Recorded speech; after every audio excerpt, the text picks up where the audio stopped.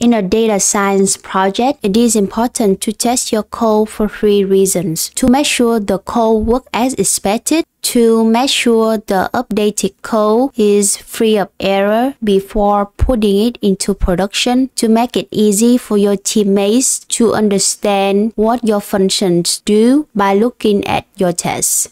In this video, we're gonna go through the examples for each of these reasons. Your code might run without any error, but it can still produce an output that is different from what you expected. For example, here I have a function extract sentiment. This function will extract sentiment and the output will be between negative 1 and 1, where negative 1 is very negative sentiment and 1 is very positive sentiment instead of trusting that this library will do what I want it to do, I need to double check with multiple edge cases to make sure it works as I expected. So I might want to check if the function extract sentiment will predict the sentence I think today will be a great day to be positive and whether this function will predict the function I do not think this will turn out well to be negative.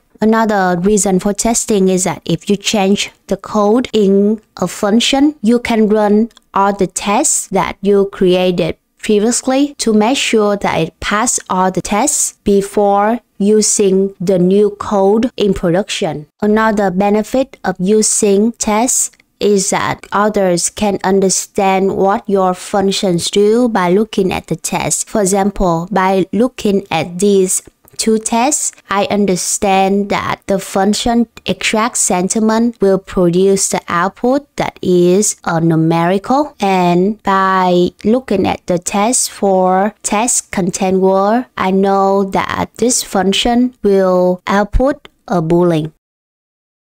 Thank you for listening. In the next video, you will learn how to use PyTest to test your functions.